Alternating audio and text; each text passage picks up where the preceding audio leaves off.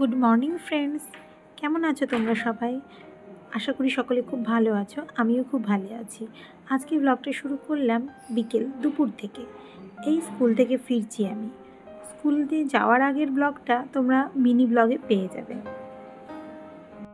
শোনা মাত্র ওরা চলে আসে। দেখি ওরা কি করছে। ও ও ভাজছিল বুনু কই দিব্য?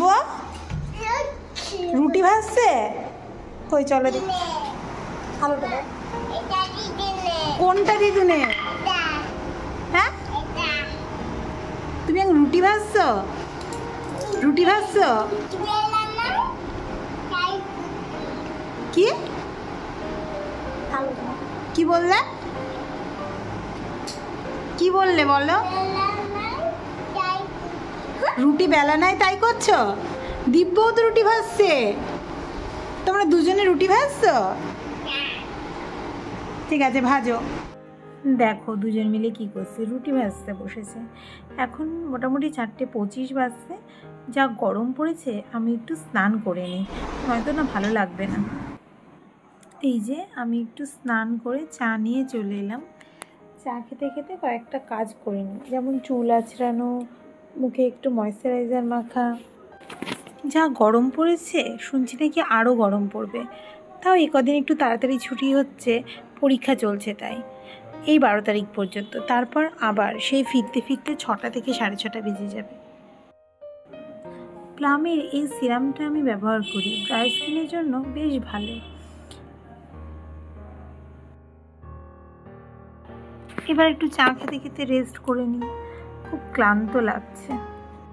প্রায় ছটা বেজে গেছে। দিব্য বৃষ্টির বাবাও চলে এলো স্কুল থেকে। ওরাও খাওয়া দাওয়া করে রেডি হয়ে গিয়েছে। বিকালবেলা কোথাও নিয়ে যাব না আজকে। তাই বিকেলবেলা একটু সাজিয়ে গুছিয়ে দিলে ভালো লাগে। একটু ছোলা ভিজিয়ে রেখে গিয়েছিলাম। হচ্ছে সন্ধ্যাবেলায় ছোলার সেদ্ধটাই টিফিন করব। এই সন্ধ্যাবেলাটা না, খুব বিরক্ত লাগে। কী খাই কী খাই মন যায়। শুধু বাইরের খাবার খেতে ইচ্ছে করে। কিন্তু সেটা তো স্বাস্থ্যের পক্ষে একদমই ভালো নয়। যাই হোক, আজকে মনকে বুঝিয়ে এই ছোলাটাই খাব। আমার ঘরের জানলাটা না, মাসি মুছে না। আসলে বিছানার ওপর উঠে মুছতে হয় তো, মাসি মুছতে চায় না, আর আমিও বলি না। তো এইটা একটু জল ঢেলে পরিষ্কার করে দিই। কি নোংরা হয়েছে দেখো। ওই যে দেখো, ধোয়ার পরও যে কালো কালো দাগগুলো থেকে গেল না, ওগুলো গ্রিল লাগাতে গিয়ে দাগ হয়ে গেছে, আগুনের ফুলকি পড়ে। ওগুলো আর পরিষ্কার হয় না। যাক, এটাও পরিষ্কার হলো একদিন ছাড়া ছাড়া এটা করলে ঠিকঠাক আজকে সন্ধ্যাবেলা ভাবছি হাঁটতে যাব একটু ইভিনিং আছে তাই রাতের কাজটা এখনই করে নিলাম। দুধটা ফুটিয়ে নিই, তাহলে আর তেমন কিছু নেই, রাতে রান্না তো করাই আছে। এবার ছোলাটা একটু প্রিপারেশন করে খেয়ে নিই। ওই লেবু আর ওই ভাজা মশলাটা আমার বাড়িতে বানানো, এটা দিয়েই খেয়ে নিলাম। আর শশা পেঁয়াজ কাটার মতো ধৈর্য নেই।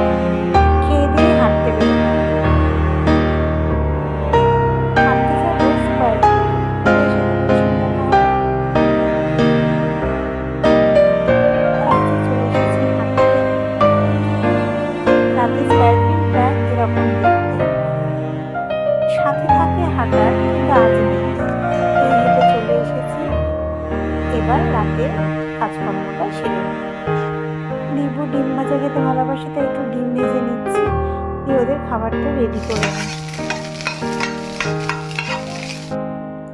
ভাত এখানে চটকে নিয়েছি। একটু ডাল আর কুমড়ো ভাজা আর ডিম ভাজা দিয়ে খাইয়ে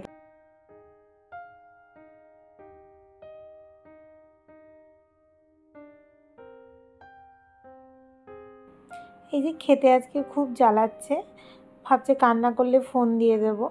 যাই হোক, এই কুকুর বারান্দায় বসে যে কুকুরকে খাওয়াচ্ছে ওর বাবা, ওইটা দেখে একটু একটু খাচ্ছে। মাম্মাম তো খেলোই না, তাকে এখন সেরেলাক খাওয়াতে। হবে যে কুকুর দেখে একটু খাচ্ছে, কুকুর খেলে তবে ও একটু খাচ্ছে।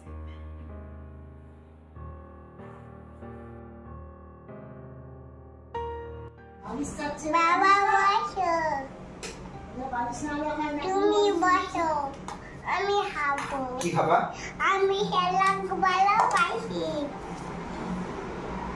এটা কি? এই খাবারটা কি? সেলাক। সেরেলাক ঠিক করে বলো। এটা কার খাবার? আমার। তোমার? হ্যাঁ। তুমি কি একা একা খাবে না তোমায় খাইয়ে দিতে হবে? কে খাই কে খাইয়ে দেবে? আচ্ছা। গুড নাইট বলে দাও মাম্মাম। এদিকে তাকিয়ে বলো। টাটা দিয়ে দাও। প্রতিষ্ঠিত খাওয়া দাওয়া হয়ে গেল এবার আমরা খেয়ে নেব রুটি রুটি তরকারি কড়াই আছে।